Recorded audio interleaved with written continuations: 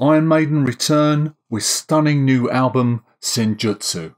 First off, I've been listening to this album over and over again. I can't stop playing it. It is, in my opinion, an absolute masterpiece.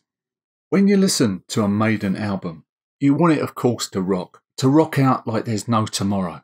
You want to be uplifted. You want your spirits to soar. In short, you want epic, cinematic rock and roll played by masters absolute masters of their craft. I've tried so hard to listen with my reviewer's hat on, tried to be objective, but I can't. I just find myself just drifting back to being a fan again. The thing, one of the things I like most about this album is the band have managed to encapsulate all the things that make Maiden great while stepping forward and looking to expand their musical horizons and ambition.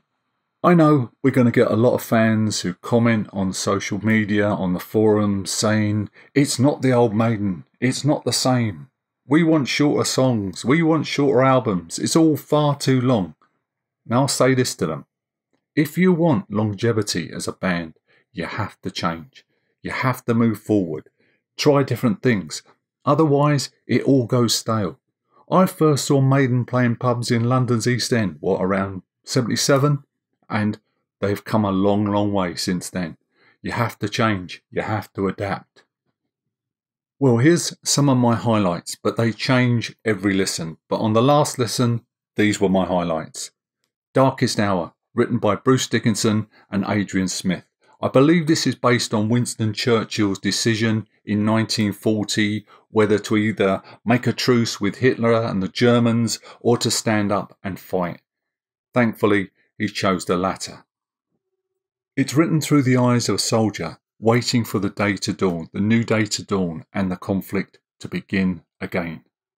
The song swirls and drifts, by turns slow and brooding, then epic and soaring. It's one of Bruce Dickinson's finest moments. He takes the piece by the scruff of the neck and turns it into an absolute classic.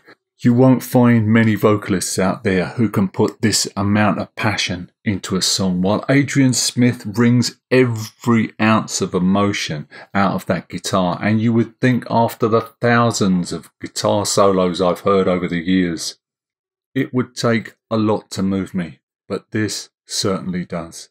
The band must play this album in its entirety live, and when I get to see this live, I will be on my knees bowing, saying, I am not worthy.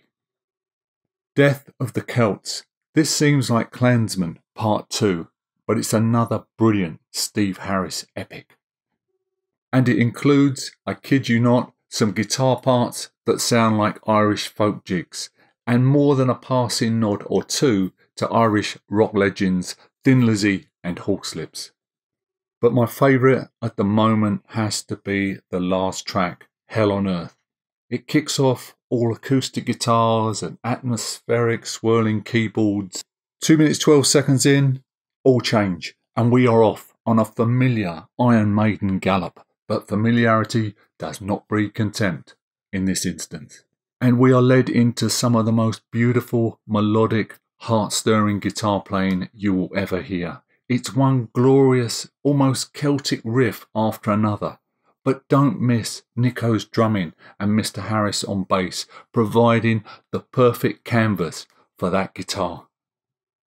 Then Mr. Dickinson steps forward and delivers yet another stellar performance. On this album, it's one great performance after another from every member of the band.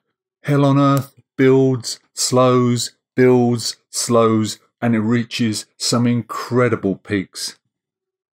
The last three pieces on this album, The Death of the Celts, The Parchment, and Hell on Earth, all written by Mr. Steve Harris. Now, there are hundreds of prog rock bands out there trying to do these epic extended pieces, and they don't even come close to this.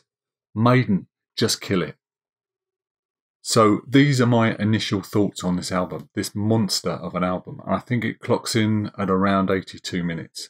So when I've had a chance to fully digest this album, I will be putting out a full review on the channel. But one thing I will say, I think this album needs to be listened to on headphones, and you need to listen multiple times to get the full beauty of it. So, thank you for listening. Please stay safe, stay well, please subscribe to the channel, and I'll see you guys in the next video.